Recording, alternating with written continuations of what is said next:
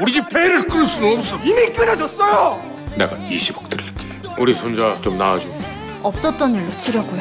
우리 부부는 이제 평생 아이 못 가져요. 제 인생은 어떻게 해요? 우리 둘 다 아는 사람이야. 우리 인생 망칠 일 있어? 엄마는 인생 망쳤어? 애가 있다고? 그냥 애만 좀 낳아달라는 거 아닙니까? 야! 말 조심해! 그게요 오리님이